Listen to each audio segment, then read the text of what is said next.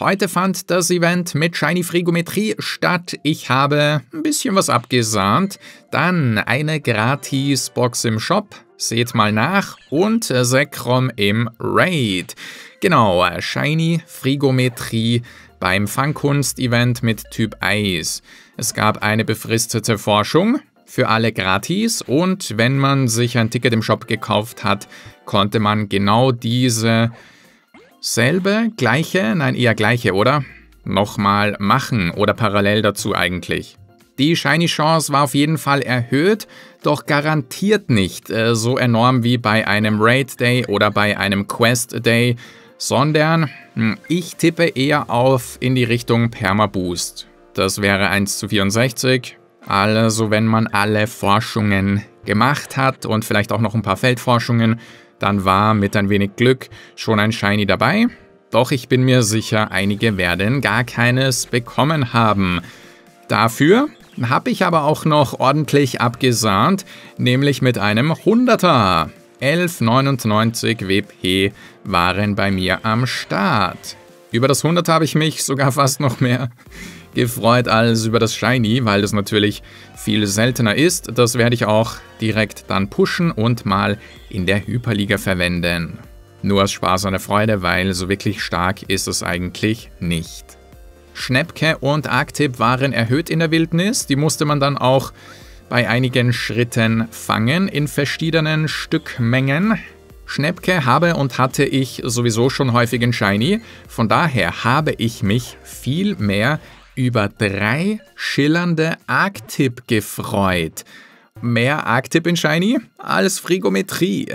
Ich weiß nicht, ob ich hier einfach Glück hatte oder bei Frigometrie eher Pech. Vermutlich beides so ein bisschen, doch damit bin ich auf jeden Fall zufrieden. Wer bei Hisui Atmurai nicht zufrieden war, weil es da vielleicht Probleme gab beim Hisui Atmurai Raid Day, da dann die Raid-Dauer um eine Stunde verlängert und nun haben betroffene Personen auch eine kleine Entschädigungsbox im Shop.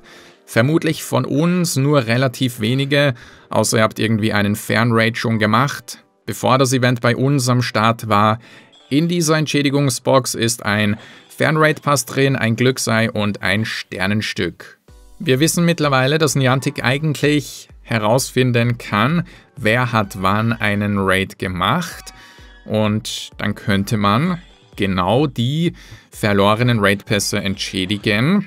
Das wurde nämlich einmal schon so gelöst, aber die faule Variante, die Niantic seither dann immer gemacht hat, ach komm ich in eine Box mit einem Raid-Pass oder mit drei Raid-Pässen, völlig egal wie viele Raid-Pässe ihr verloren habt, nehmt den einen oder Pech gehabt.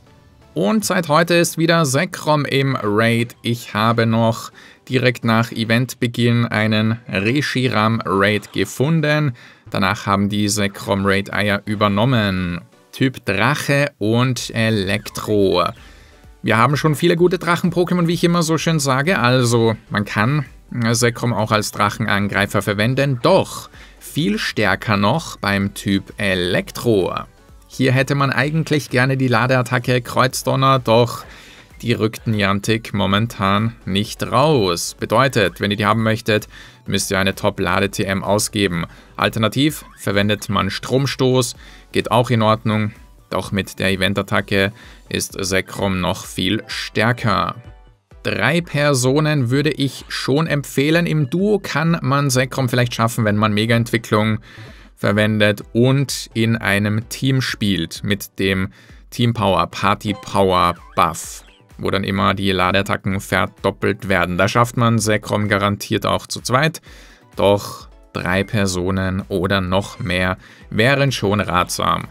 Das ist so ein Kandidat, wo die Ladeattacken einen Gewaltunterschied bewirken, denn wenn es nur die beiden Elektroattacken hat, dann überlebt man ja mit einem, keine Ahnung, Protograudon oder vor allem Mega Knackrack ultra lange, weil Elektro gegen ein Drachen-Pokémon nicht sehr effektiv und Boden eigentlich immun.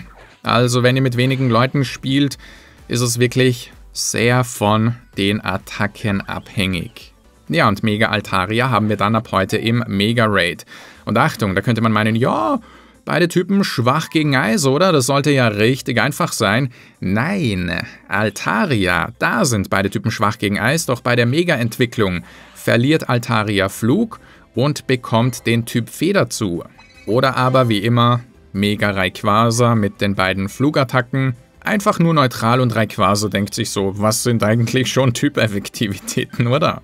Ich werde, sobald das Video fertig ist, noch ein kleines Ründchen drehen und mein Glück versuchen. Vielleicht bekomme ich noch das ein oder andere Shiny.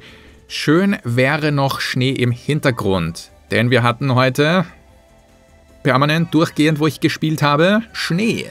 Und da noch dieses Schneefeeling im Spiel, höhere IV, mehr Sternenstaub beim Fangen und der schöne Hintergrund das hätte wirklich gepasst, ja. Und äh, sorry für meine Fangkünste manchmal. Mein iPad war durchgehend nass. Ich hoffe, ihr habt mindestens einen Shiny bekommen und bedanke mich natürlich wie immer fürs Zusehen.